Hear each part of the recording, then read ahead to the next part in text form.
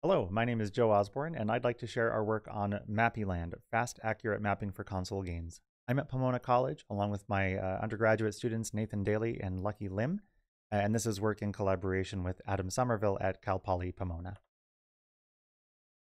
Mappyland is interested in action games. We, we call action games those games where you have a character moving around in some simulated space um, between rooms that are linked in some kind of graph.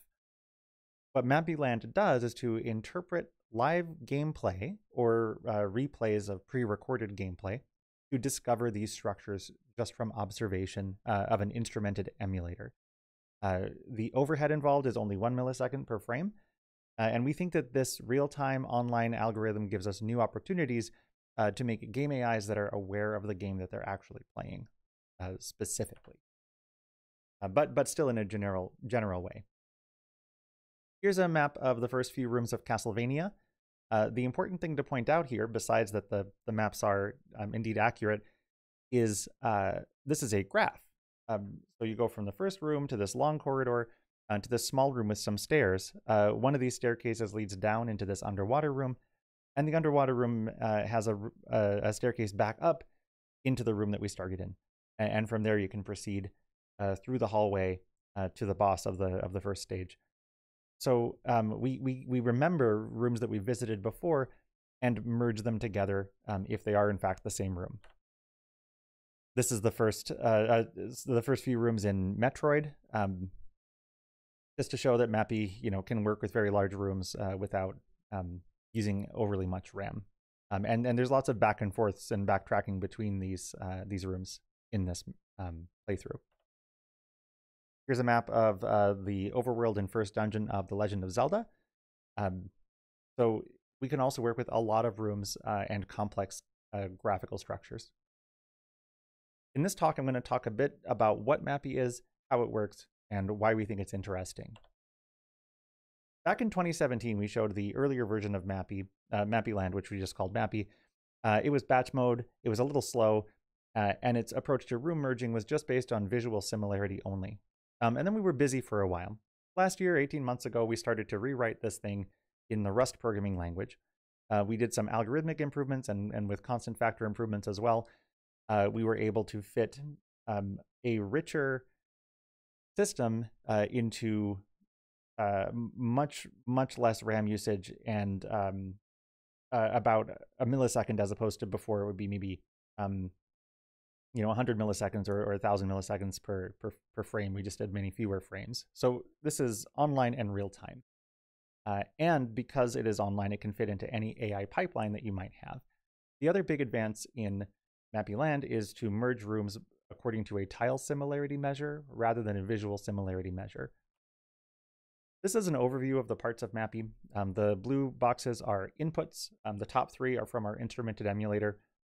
Um, I guess maybe the, the, the, memory state and PPU register changes, these come from our emulator.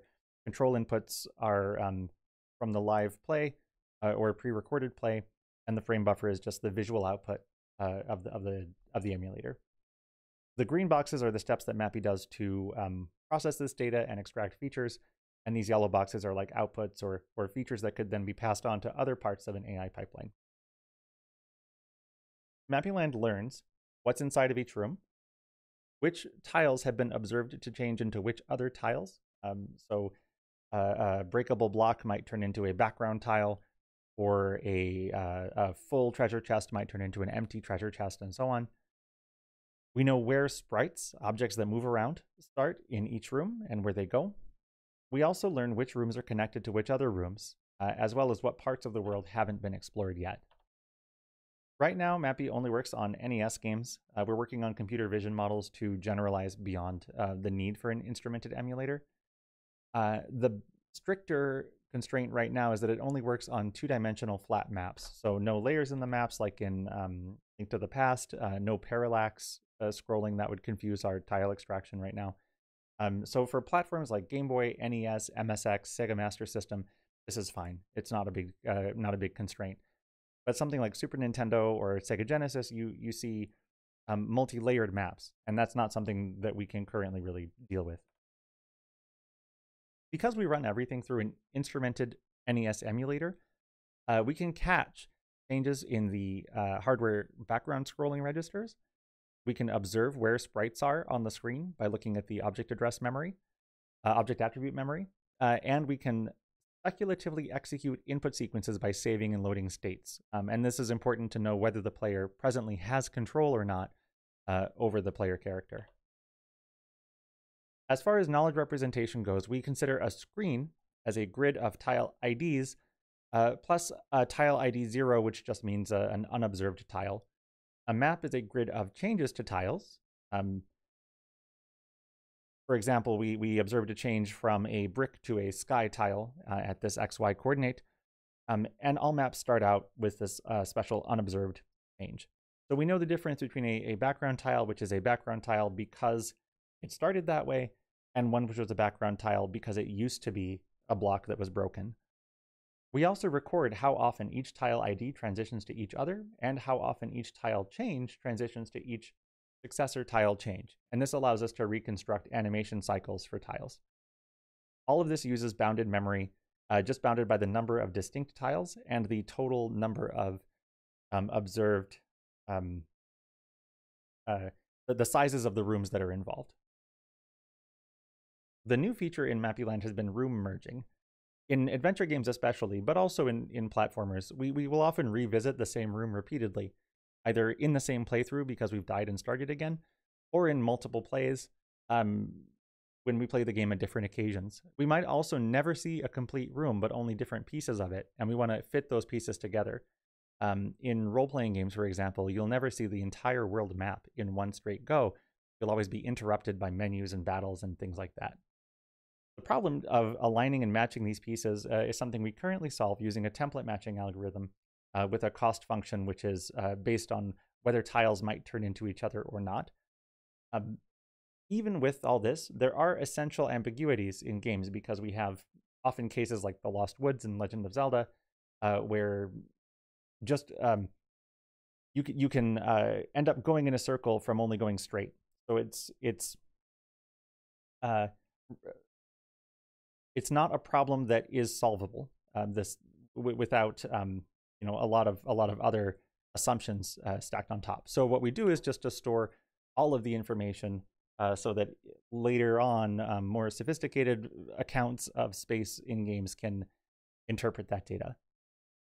Here's Super Mario 1-1. Um, it's actually the entire level, which is not observable on a single playthrough uh, because Mario cannot walk backwards. So in order to see the entire overworld and also see the coin room, you have to play it twice. Uh, and this shows that we can aggregate multiple playthroughs uh, into one coherent and complete map. Here's an example of an ambiguity from Metroid. If you are in the top room here and you exit to the right, you'll enter a short corridor. Its right exit takes you to this bottom room. The right exit of the bottom room takes you to a different room which looks exactly identical to the short corridor from before. Uh, and that has a right exit to yet another room. So this is a case where actually the rooms are different. Um, we know they're different because they enter and exit from different places. And uh, if the player is clever or, or lucky, they might figure out that one of these tiles can be bombed, and in one of the rooms, this lets them drop down um, into uh, a, a, very tall corridor, a very tall room. So this is actually a tall room, not a wide one. Um, now, this is not something that we can know from the observations so far, so it's ambiguous, but it could be disambiguated in the future um, if the player were to explore um, both rooms. What's the point of Mappy? Uh, we think it's really helpful if you are writing an AI that wants to interpret what's happening in a game. So this might be a feature extraction step for reinforcement learning. Um, get a tile representation of a room rather than pixel representation. Um, know where sprites are rather than having to do object detection. Uh, this could also be part of a pipeline with other tools like Charda, work that uh, Adam and I showed at uh, IJCAI a few years back on finding physics models for game characters from observation. Uh, I think it's useful if you have an AI that wants to do high level planning, maybe like a hybrid agent that does reinforcement learning for moment to moment control, and then planning and, and sort of map aware stuff for higher level control. Uh, and finally, it gives a natural measure of novelty. If you're finding new parts of a map, that's new stuff, and we want to reward that. AI research outside of game playing, um, this automatic mapping means that we can more quickly produce game level corpora um, in a way that doesn't depend on individual games, just on observations of play. It means that where we do have uh, libraries of recordings of players playing games, uh, we can also get more data from play traces. Um, and if we find a way to account for, um, uh, to avoid the need for an instrumented emulator, this could even come from YouTube or other kinds of sources. Uh, and finally, um, I think that there's a, a, a, really interesting area of automated state space exploration algorithms, and we feel that this mapping component um, can can boost those um, in some in some ways for for action games.